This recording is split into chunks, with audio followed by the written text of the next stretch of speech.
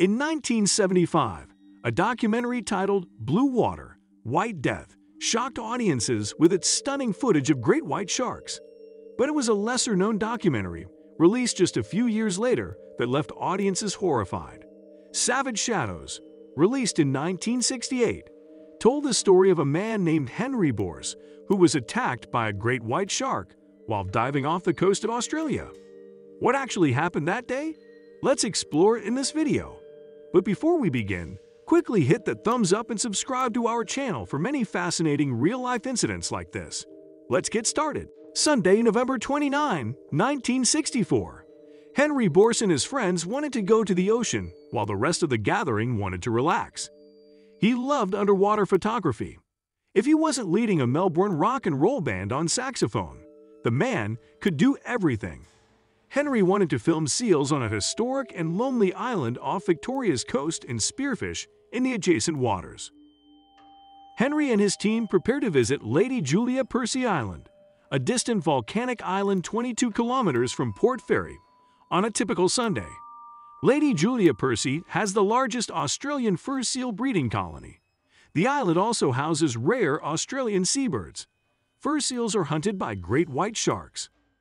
Henry and his friends had no idea this would affect their lives.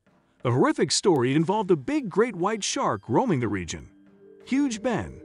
Given the thousands of fur seals visible, it was easy to believe this monster legend at this time. Henry saw this as another great portfolio opportunity. Henry swam deep at 12.45 p.m. Henry returned to the boat at about 1.15 after filming for an hour. Henry tried again, dissatisfied with his previous film role. Dietmar and Fred, armed with their spears, join him again. Nobody could have guessed that this dive would change them forever. The three companions discovered seals playing in the waves while free diving. Henry started filming a bull seal in the harem. The powerful waves quieted as the seals turned tail. They couldn't find the seals and had to ascend. Henry's head surfaced.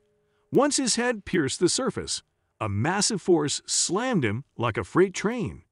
Henry recognized what struck him before he could understand and signaled the other dives. Shark, he yelled. He was violently pulled under by the sea. He was powerless. Water exploded. His mask and snorkel were wrenched off by the force pulling Henry down. He then saw a great white shark attack. It clung to his leg. He shook like a dog shaking an old slipper. Henry anxiously tried to reach the creature's eyes, but its huge nose blocked him. Shark teeth puncturing his calf caused excruciating pain. Beyond the anguish, Henry was drowning as he scrambled his hand across its face. After 45 seconds, he was choking.